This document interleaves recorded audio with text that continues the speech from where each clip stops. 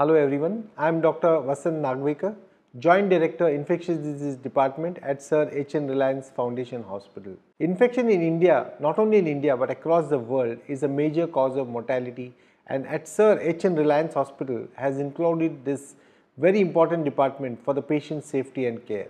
What it does, it covers a wide approach and treatment to all the infections whether it is intensive care unit infections, critically ill patients, transplant infections, which is a very very important part of the infectious disease department, HIV and infections in immunocompromised patients. One important feature is pyrexia for unknown origin.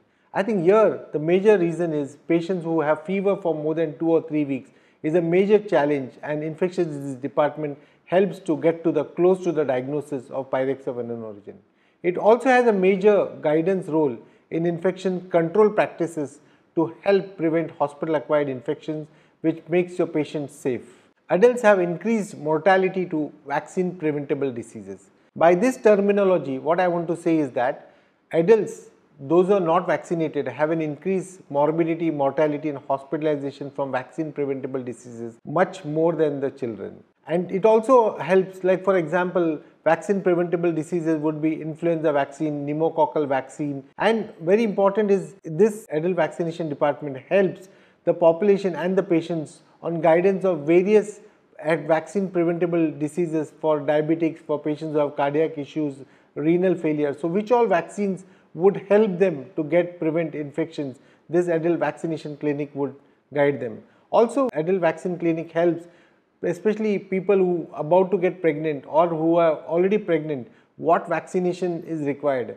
I would suggest that those people who are about who got married and about to get pregnant, I think diseases like rubella and chickenpox is very important that to know that whether they have suffered or it can be prevented through this vaccine. This is very very important because in pregnancy to have rubella and chickenpox is a big nightmare.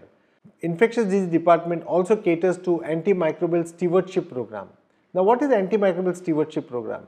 By the terminology antimicrobial stewardship program, it is a team effort not only by the infectious disease department but with the infection control nurse, the IT department and the intensive care department. So it's a teamwork antimicrobial stewardship which helps to narrow down or to give the correct treatment for your patients, right dose, right duration and right dosage. All this is very very important and this antimicrobial stewardship program infectious disease department plays a very major important role.